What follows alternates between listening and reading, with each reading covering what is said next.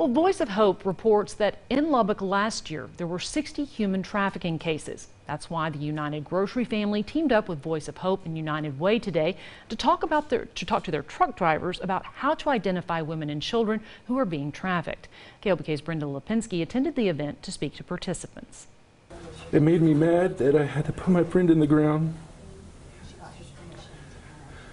and not tell her I'm sorry for what had happened to her.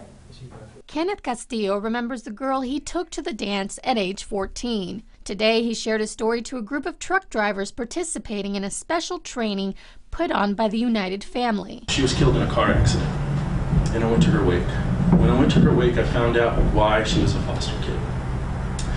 She was a foster kid because her mom sold her to men for money and drugs from the ages of five until she was almost 12 years old. 54 truck drivers participated in a two part training over the last few months. Cash Egan with Llano Industries says their truck drivers have a unique ability to provide help to victims. And a lot of this activity actually takes place at, at places where they might stop, truck stops, uh, on the side of the road diners. Yes, we're out there on the road and we see what others can't see.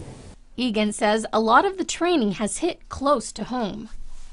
In addition to being truck drivers, a lot of them are fathers. Uh, they're uncles.